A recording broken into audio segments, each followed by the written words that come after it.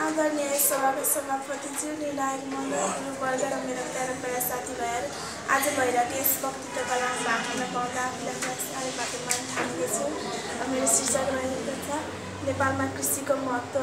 नेपाल कृषि प्रधान देश हो। नेपालमा असी प्रतिशत मानिसहरू खेतीमा लागेका छन्। भौगोलिक दृष्टिकोणले हेर्दा नेपाललाई तिन भागमा विभाजन गरिएको छ। तराई हिमाल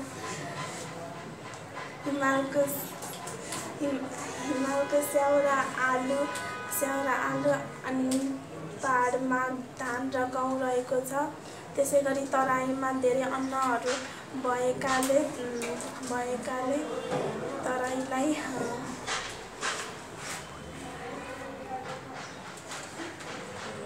अन्नको भण्डार अन्नको अन्नको भण्डार भनिन्छ अनि नेपालीहरूको पेसा भनेकै कृषि हो। धेरै जस्ताहरूले कृषिकै कृषि नै गरेर आफ्नो कृषि नै गरेर आफ्नो जीवन कटाइरहेका छन्।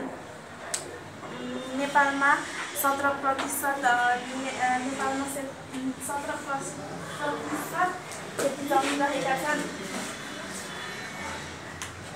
यदि युवाहरू यदि युवाहरू यदि युवाहरू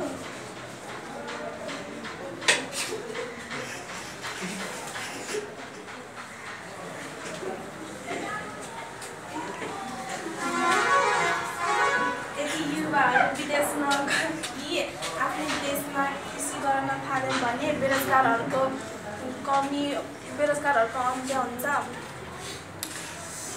विक्रम सम्मत उन्नाइस सय विक्रम सम्मत उन्नाइस सय त्रिसठी त्रिसठी त्रिसठीमा त्रिसठीमा नेपालबाट नै खाद्यान्नहरूको खाद्यान्नहरूको भारतमा भारतमा बेचिन्थ्यो खाद्यान्नहरू बेचिन्थ्यो।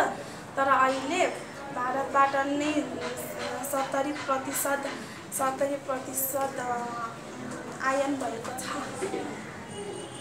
धन्यवाद।